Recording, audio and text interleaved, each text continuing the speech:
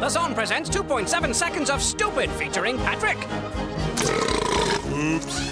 This has been 2.7 seconds of stupid. SpongeBob SquarePants, weekdays at 4 in the Zone.